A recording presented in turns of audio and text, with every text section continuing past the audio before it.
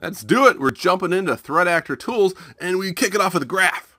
Yes, this graph is a quick history lesson, but what it comes down to is back in the day, the sophistication of our attack tools, the power, the coolness behind them all was low.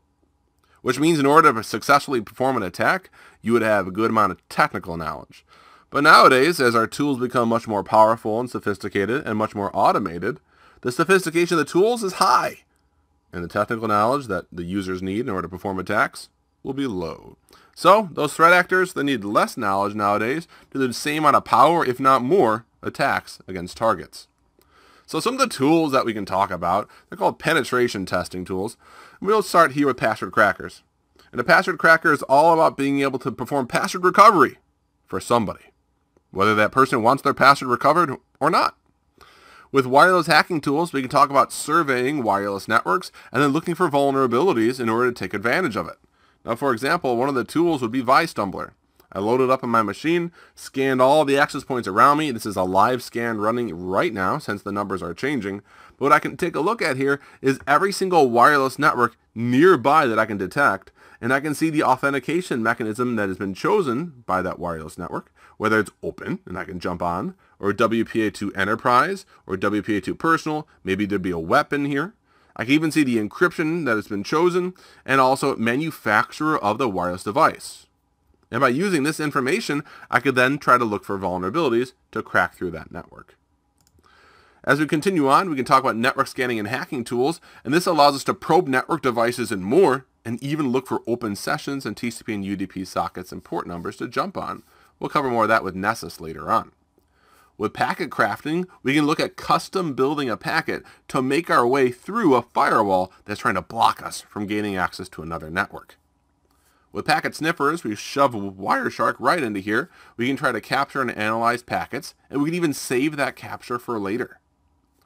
With rootkit detectors, as a threat actor, we'd want to try to break around this and not be detected, but this is a directory and file integrity check.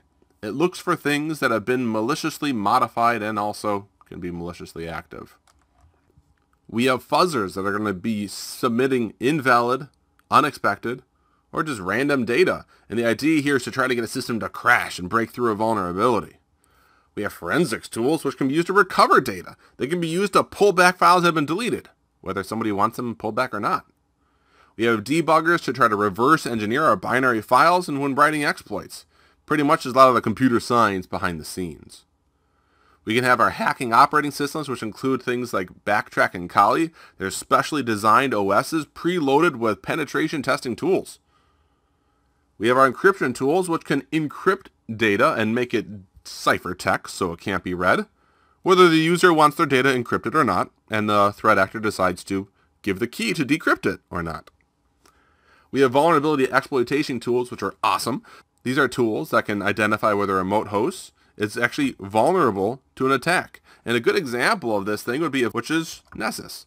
And I have this loaded up on my machine. I scan my network, and we can see all these devices getting little reports back. And one of them has red, and that happens to be my firewall. So if I click on my firewall, and I can click on that red critical issue, what I'll find here is the Unix operating system on my edge firewall, my network, it's no longer supported. Which means if there's any new security patches out there for issues, I'm not getting it. Solution is to upgrade to a version of Unix OS that's supported. I should do that. That's cool to know. What are these attack types that threat actors will take against me? Well, eavesdropping attacks. Using a tool like Wireshark, a threat actor would be able to capture network traffic and listen to it. They can even save the capture and open it at a later time to study it. With data modification, we take it one step further. It's not just listening and capturing data, but it literally is capturing data and altering it without the sender or receiver knowing. With IP address spoofing, a threat actor can pretend to be whoever they want to be. They can choose the source IP address on their message and send this message out across the network. Password-based attacks, anybody can do this. There's tons of tools out there. But if a threat actor can discover a valid user account, then they can have the same rights as a real user, and they can then try to escalate their privileges. Now, one example of a password-based attack would be having password and username lists and using these lists with a tool. For example, there's a tool known as THC Hydra, and you could take a username list and a password list, and you combine them together and you knock on a front door, let's say 150,000 times. Well, in this case, I have a text file that has 10 million passwords in it and a text file with 10 million usernames in it. I can have a tool like THC Hydra grab both files, target a specific application or a network device, and literally go to town cycling through 10 million possibilities times 10 million possibilities, if you get my gist, and try to break through with a valid username and password. Denial of service.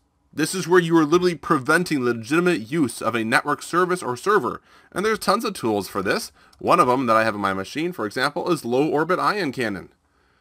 Sophistication of the tool versus technical knowledge. Back to that conversation. With this tool, you select your target. You lock on, you charge your laser, and you go.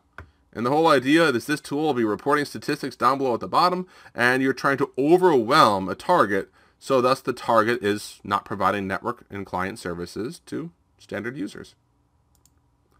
Man in the middle attack, we're talking about having that threat actor that puts themselves right between a source and destination, and they're actively monitoring, capturing, and trying to control the communication without the sender and receiver knowing. With compromised key, we've got where an attacker can use a compromised key, which is the legitimate key that people don't know has been compromised, in order to gain access to communication or to network services. And lastly, with a sniffer attack, which is very similar back to Wireshark, a threat actor can use an application or even a physical device to read, monitor, and capture network data that's being exchanged real time, and they can literally grab and see those messages.